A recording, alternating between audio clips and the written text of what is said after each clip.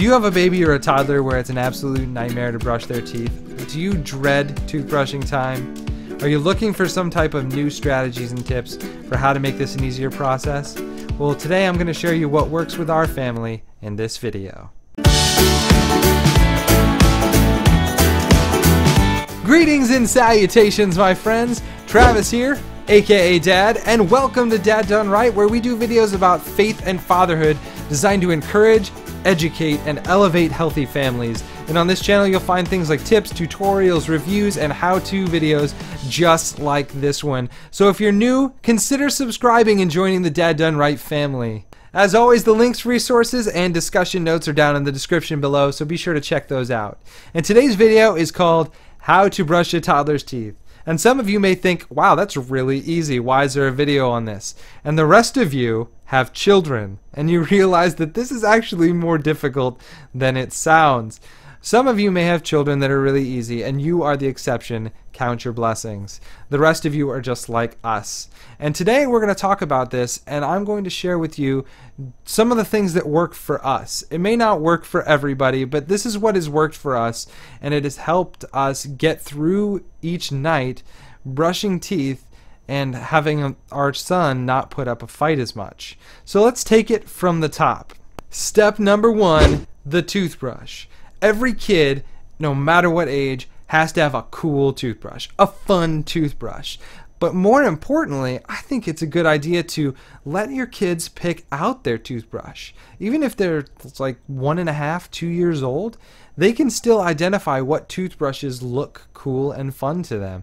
Make a trip out of it, go to the store, pull up all the toothbrushes, and let them pick out the one they want. Or get on Amazon Pick out a toothbrush. Bring a whole bunch of toothbrushes and let them point at the one that they want. My son has a two toothbrushes actually. One that is blue and lights up and it just flashes and he loves that. And you click it and it flashes for 60 seconds. So that's how long we know to brush his tops. Then we click it again and that's how long we brush his bottoms. And that has become a routine that he has started to understand and is enjoying. His other toothbrush is a Ninja Turtles toothbrush, which he also loves. But we have two toothbrushes and we rotate them, and he so that way it's something different, and he really really enjoys that. I'll actually put links to those toothbrushes down below if you want to check those out. If you have boys, they're a real big hit and they're a lot of fun.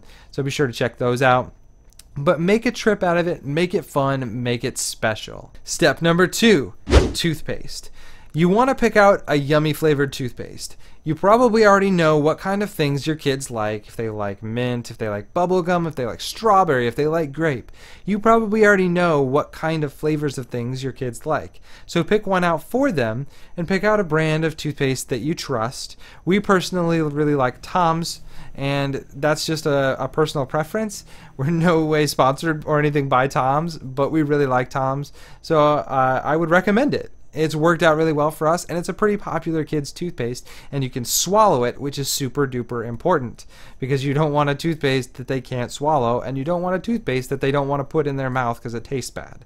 Step number three routine and consistency. This is so important, and you're probably going to hear the words routine and consistency for the rest of your life as a parent because it is so important in just about every area of parenting that I could make up that point in every single video. But especially in this, it is definitely really important. You want to find a time of day that your kids aren't cranky, but you want to make it a routine of doing that every single day so they know when this time comes that it's time for toothbrushing. Even if they don't like it, they know it's coming and most will eventually accept it. And that's all that you really need is for them to accept it. They don't have to love it, they just have to accept it. So identify times where they're not super cranky and they're more relaxed or entertained by something. Silly monitors turning off. Number four! Now we're going to unpack the difficult one brushing. Now, this is a tricky one because even if you've done everything else that I've said to this point, once you reach this step, it's kind of hit or miss. All bets are off what could happen. I'm just going to tell you what we do and uh, give you a couple ideas to maybe make this a little bit easier. So, what we do in this situation is I make up silly songs, uh, sometimes about brushing teeth, sometimes they're just songs that he loves, and sometimes he'll stop me in the middle and say no, and I'll immediately just transition into another song. And he thinks that's hilarious, and he'll kind of giggle and let me continue to brush his teeth. And then I'll just switch to another song, and he thinks that's funny. So he's learned to just kind of say no and then all of a sudden I'll switch gears into another song and it just distracts him. And that's kind of the goal in this situation. It's not to get them to just love brushing their teeth, it's to find a distraction or something humorous to get their mind off of what's happening. So for us, it's silly songs. Sometimes we count. Sometimes we watch a funny video on YouTube that he we know he loves. Specifically, you can watch YouTube videos of toothbrushing songs that have counters that count down how long you should be brushing your teeth through the duration of the song so then you know when to switch from tops to bottoms and so forth. And those are really fun because you can sing along with them and your kids will probably love that. And plus it's just another way to distract them. I also really love to make silly faces. He seems to really like it when i make silly faces. Maybe just because i have a funny looking face but i'm okay with it because it lets me get my toothbrushing done on my little boy. I've also heard that some people do their teeth brushing in the bathtub during bath time. So they present it in an interesting way. They say, okay, well, you're in the tub. Tub time is also tooth toothbrushing time. So they say everyone in the tub has to have their teeth brushed. So they take like all the like ducks and squeaky animals and things that are in the tub and they have to brush their teeth and then eventually babies got to get their teeth brushed. And the kids, I guess, think that's kind of fun and it's fair because everyone's getting their teeth brushed. So that apparently works for some people. It's not something we've had to do yet, but I thought that was a very interesting and clever way to present teeth brushing. When it comes to positioning your child for tooth brushing, one of the things you want to keep in mind is am I putting too much stress or strain on my child's body when I'm trying to brush their teeth? Because some people try and do it by themselves, and some people it's really going to be a two person job. Depending on how your child is, it may not be a one person job as much as you want it to be.